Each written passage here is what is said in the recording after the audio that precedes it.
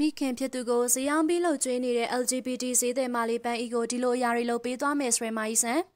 ပရိသတ်များရှင်လွန်ခဲ့တဲ့ရက်တုန်းက MC ရဲ့အင်တာဗျူးတစ်ခုမှာမိခင်ကိုဇေယောင်းပြီးတော့လှုပ်ကြွေးနေတဲ့ LGBT ဈေးသည်မာလီပန်းအီကိုအားလုံးက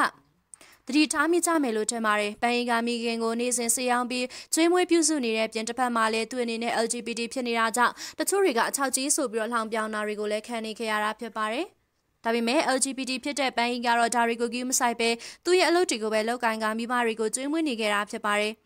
ဒီသတင်းတက်လာပြီးတဲ့ချိန်မှာတော့မိတ်ကက်ဆရာမဖြစ်တဲ့မာကြီးဆန်းကပန်းကြီးကိုတနာစိတ်ဝင်ပြီးဆက်သွယ်လို့ရမယ့်နေရာကိုစုံစမ်းပြီးတော့ပန်းကြီးရှိရာထိနေရာထိသွားကလိုအပ်တာတွေကိုလုပ်ပေးမယ်လို့ပြောခဲ့ပါတယ်။မာကြီးဆန်းဆိုတာကတော့မြန်မာနိုင်ငံရဲ့အောင်မြင်ဆုံးမိတ်ကက်ဆရာမတွေထဲကတရားဖြစ်ပြီးအမှုပညာတိုင်းဝိုင်းကမင်းသားမင်းသမီးတွေကစမာကြီးဆန်းမိတ်ကက်မလိန်ဖူးပေးဖူးတဲ့သူမရှိလောက်အောင်ပါပဲရှင်။မိုင်းဆန်ကမနေ့တုန်းကဆိုရင် LGBT မာလီပန်ရှိရာစီတို့လိုက်သွားခဲ့ပြီးဒီလိုအရာတွေအားလုံးကိုဖြည့်ဆည်းပေးမယ်ဆိုပြီးတော့တာဝန်ယူခဲ့တာပါ မိုင်းဆန်က LGBT မာလီပန်ဖြစ်ချင်တဲ့မိတ်ကပ်ဆရာမတယောက်ဖြစ်အောင်သူ့ရဲ့တင်နန်းမှာတေချာတင် जा ပေးသွားမှာဖြစ်တဲ့ပြင်ပန်းရီတင်နန်းတက်နေတဲ့ချိန်မှာစာဝတ်နေရေးအတွက်စီမရောင်ရတာကြောင့်အတွက်လည်း